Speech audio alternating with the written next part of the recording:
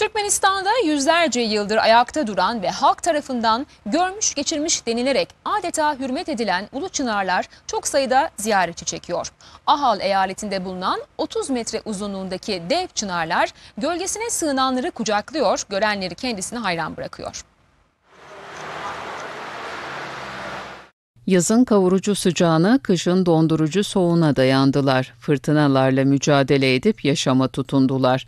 Türkmenistan'ın Ahal eyaletinin Nohur beldesindeki dev çınarlar adeta yıllara meydan okudular. Şunun hem mezatlarına seyrediyen arassaçılığına su Buradaki çınar ağacının bakımını ben yapıyorum. Bu gördüğünüz büyük çınara Kız Bibi'nin çınar ağacı deniliyor. Nohur köyünde toplam 9 çınar var ama kimin ektiği bilinmiyor.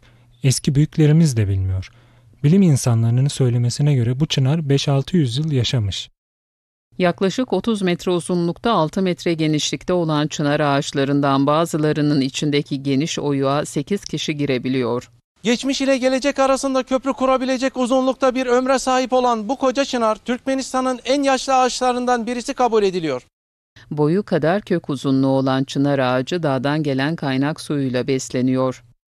Köp şatlıklara, acılara ve sevgi. Nice sevinçlere, acılara, aşklara tanıklık etmiş bu çınarı her yıl çok sayıda turist görmeye geliyor. İnşallah çok daha uzun yıllar ağacımız burada durur.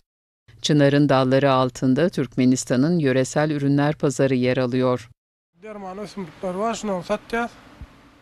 Burada gördüğünüz şifalı bitkileri satıyoruz. İşte papatya, kekik, kuşburnu, dağ çayı gibi faydalı bitki çaylarımız var. Dağ meyvelerinden hazırlanan reçeller var. Çınarlar bir yandan yaz günlerinde gölgesine sığınanları serinletirken diğer yandan turistik değerleriyle yöre halkının geçimine katkı sağlıyor.